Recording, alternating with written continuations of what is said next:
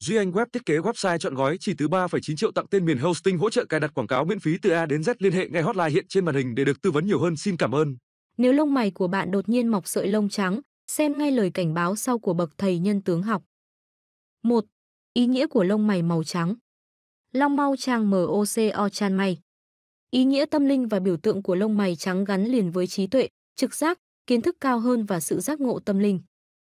Nếu gần đây bạn nhận thấy có nhiều sợi lông trắng xuất hiện trên lông mày của mình, hãy coi đó là một dấu hiệu tích cực. Nắm bắt sự khôn ngoan mới tìm thấy của bạn và nó sẽ hướng dẫn bạn đứng vững trên con đường cuộc sống của mình nhé. Lông mày trắng được cho là dấu hiệu của một cá nhân sắp giác ngộ tâm linh. Nó tượng trưng cho trí tuệ, cái nhìn sâu sắc và sự bình an nội tâm. Đối với một số người, đó là lời nhắc nhở về hành trình tâm linh mà một người đã bắt đầu và nhu cầu tiếp tục mở rộng nhận thức. Nó cũng liên quan đến sự thức tỉnh và giác ngộ tâm linh. Tóc trắng hay lông trắng chỉ là hiện tượng nang tóc, nang lông bị lão hóa hoặc rối loạn chuyển hóa của từng cá thể khiến nang tóc không thể tổng hợp hắc tố một cách bình thường. Tóc và lông sẽ bạc trắng một cách tự nhiên, hiện tượng này cũng xuất hiện khá nhiều ở người trẻ. Mặc dù một số người có thể coi đây là một thay đổi tiêu cực, nhưng thực ra nó khá đẹp và mang hàm ý tốt trong nhân tướng học.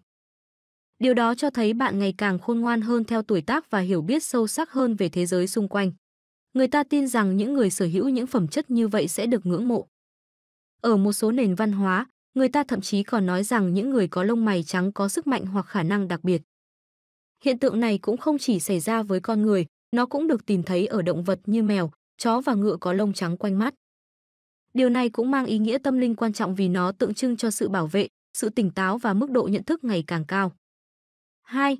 Có nên nhổ sợi lông trắng trong lông mày không? Trong nhân tướng học, việc có lông trắng trên lông mày trái là rất tốt, bên phải là xấu, nhưng điều này không có nghĩa là chúng ta phải để lông trắng mọc, đây là tướng lông mày cần sửa ngay và luôn.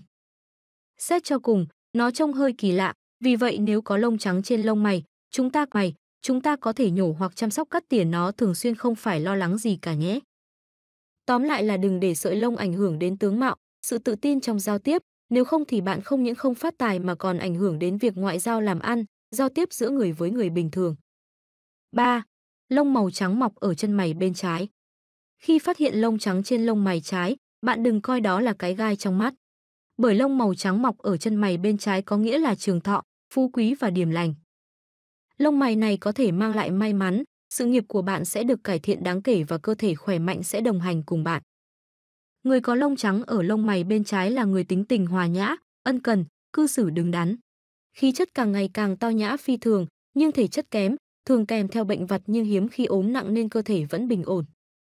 Nói chung, những người có sợi lông trắng ở lông mày bên trái đều là người dám hành động mạnh mẽ, thân hình cân đối, tràn đầy năng lượng, luôn tràn đầy nhiệt huyết và hy vọng vào nhiều điều. Làm bạn bè và người thân rất dễ chịu, lông mày bên trái có lông trắng nghĩa là tài vận của họ sẽ ngày càng tốt hơn. Phần lớn biểu thị trường thọ, sức khỏe, phú quý, cát tường, sợi lông trắng sẽ mở ra một bước ngoặt trong cuộc đời và bạn có thể phát tài. 4. Lông màu trắng mọc ở chân mày bên phải. Long mau trang MOCO chan may bên phải. Nếu lông mày bên phải của bạn bất chợt xuất hiện những sợi lông mày trắng là điềm báo cho sự thiếu may mắn trong công việc, người thân hay ốm đau liên miên. Những sợi lông mày này còn báo hiệu bạn đang phiền muộn, lo toan nhiều thứ không cần thiết hay có cảm giác bất an, nóng nảy. Khi bạn khắc phục và giải quyết được mọi việc bằng cái tâm lương thiện và chăm tu tâm dưỡng tính thì mọi chuyện sẽ sớm ổn thôi. Nó còn nói rằng bạn cần nghỉ ngơi nhiều hơn bình thường hoặc đơn giản là tham gia các hoạt động nhàn nhã hơn như yoga, thiền, liệu pháp nghệ thuật, viết nhật ký để khôi phục lại mức năng lượng trước khi bắt tay vào bất kỳ việc gì quan trọng khác. Chăm sóc bản thân luôn phải là ưu tiên hàng đầu khi chúng ta cảm thấy kiệt sức kiệt sức, nếu không chúng ta sẽ có nguy cơ kiệt sức hoàn toàn. 5. Giữa hai chân mày có lông trắng.